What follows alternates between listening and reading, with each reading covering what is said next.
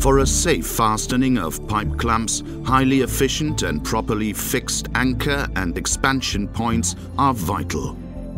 Mupro's fire-rated and efficient expansion points are turned exactly to the need of planners and users.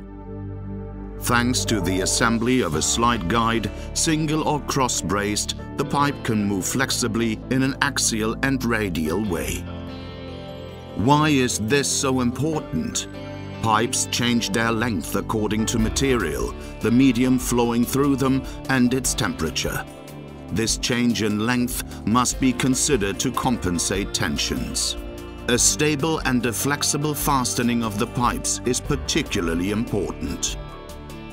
Snapping or twisting of the pipes can result in expensive subsequent damages. Mupro's moving slide guide offers the perfect solution.